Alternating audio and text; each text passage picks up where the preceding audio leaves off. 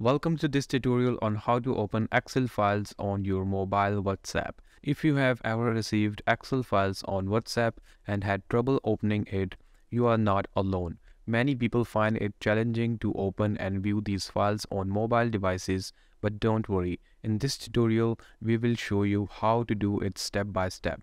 What is an XLSX file? An Excel file is a type of spreadsheet file used by Microsoft Excel and other spreadsheet softwares. These files are commonly used for organizing data and performing calculations. However, they can be difficult to open on mobile devices. Go to the conversation where you receive the XLSX file. You should see the attachment icon next to the message containing the file. Tap on the icon to download the file. Once the file is downloaded, it will be saved on your mobile phone. The location of the file will be depending on your phone's file manager app. You can check your downloads folder or the folder you selected for downloads. Now since you cannot open the file on your WhatsApp, you need to download Microsoft Office on your mobile phone.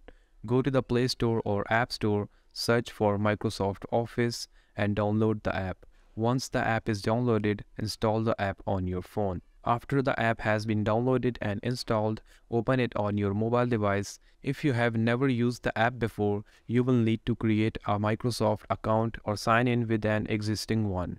Locate the downloaded Excel file on your phone. It should have an .xlsx extension and an Excel icon next to it. If you are having trouble finding the file, you can use the search function within your phone's file manager app.